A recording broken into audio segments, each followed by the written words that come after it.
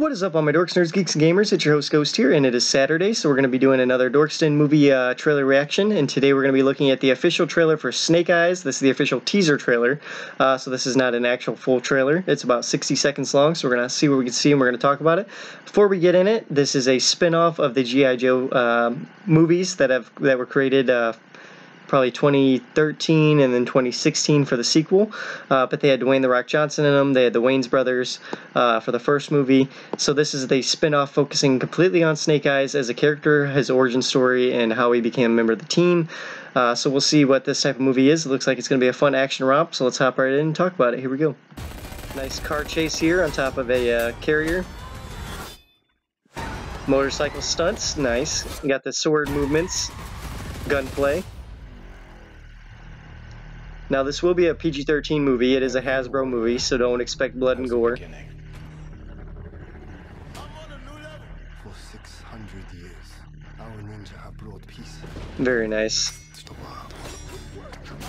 So, Storm Shadow should also play a major part of this movie. Because if you don't know, Storm Shadow and Snake Eyes are kind of rivals, and they've always have been.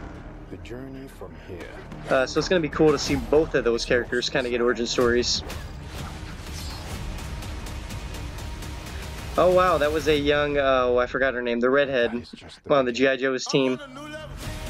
Scarlett, I think, something like that. Snake Eyes, G.I. Joe Origins. Alright, coming July 23rd. That was a trailer, guys. Let's talk about it. So, we didn't see a whole bunch in that trailer. We didn't really get any story beats. All we got was just some action scenes, uh, some quick cuts of uh, stuff going down, a few shots of Storm Shadow, and a few shots of, of uh, Snake Eyes, which was good enough for me to see that they are taking the, the Origin movie in the right direction. Um, this is labeled as a G.I. Joe Origin movie, so I wonder if we're going to get more Origin movies with some of the other G.I. Joe characters, such as Duke, um, or, you know, there's a whole bunch of them. There's a whole slew of G.I. Joe characters they can choose from. Uh, so I'm definitely excited to see where they take this. Speaking of which, Channing Tatum played Duke in the uh, second G.I. Joe movie, or was it the first one? Either way, Channing Tatum is, is Duke in that universe, or I believe he was. It might have been uh, The Rock who was Duke, but either way, it could be cool to bring him in the movies uh, to see him in that universe. I'm excited for it. I think it looks pretty good. July 23rd, only in theaters. I'll be checking it out.